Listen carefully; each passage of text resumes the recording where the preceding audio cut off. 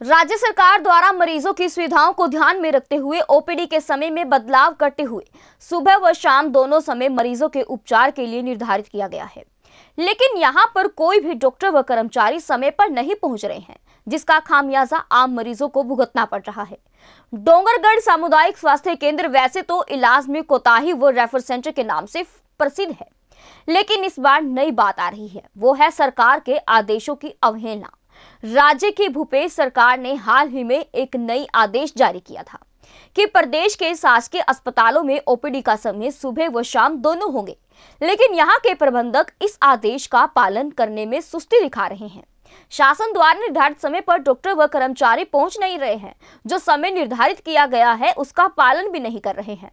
राज्य सरकार ने ओपीडी के समय को चिकित्सकों व स्वास्थ्य कर्मियों की उपस्थिति में होने वाली असुविधाओं को ध्यान में रखते हुए नए समय में सुबह आठ बजे के स्थान पर नौ बजे से दोपहर एक बजे तक और शाम चार बजे से छह बजे तक का समय अस्पताल संचालन किया जाना है। लेकिन यहाँ पर ऐसा नहीं हो रहा है।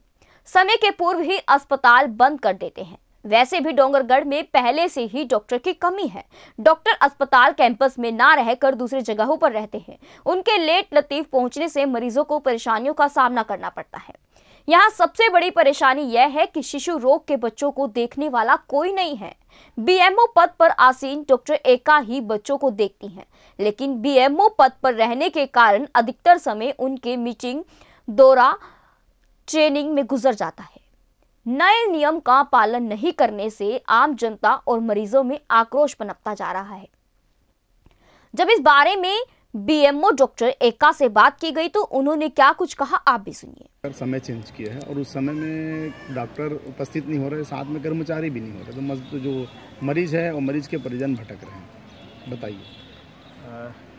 प्रदेश की कांग्रेस सरकार ने जनहित को देखते हुए श्रमिक मजदूर वर्ग और आम नागरिकों मध्यम वर्गीय परिवार, इनकी दिक्कतों को देखते हुए जो दो शिफ्ट में अस्पतालों का, सामुदायिक स्वास्थ्य केंद्र का समय रखा है। और आपके द्वारा जानकारी मिल रही है कि डॉक्टर इस समय उपलब्ध नहीं रहते हैं। यदि ऐसा है तो इस बात की शिकायत की जाएगी और बी मैडम से भी बात चर्चा करेंगे और साथ में यदि आवश्यकता पड़ी तो उच्च अधिकारियों को भी इस संबंध में शिकायत की जाएगी। JBD Banquets lie हैं incredible marriage palace Rajgharana and the finest banquet hall Jyoti Garden.